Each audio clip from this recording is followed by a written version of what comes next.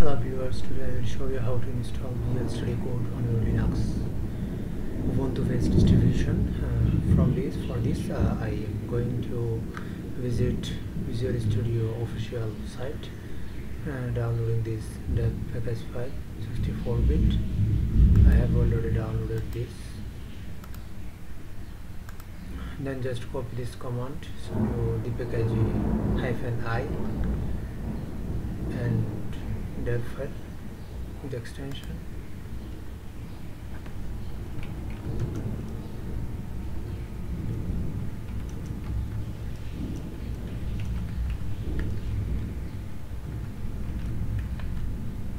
Press enter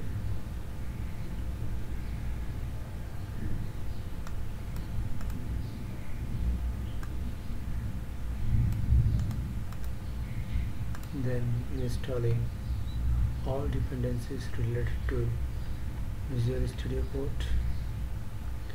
Hopefully will get some time. Now pasting this command for all dependencies. Yes, it's uh, all dependencies installed. Thank you for watching. Please subscribe my channel.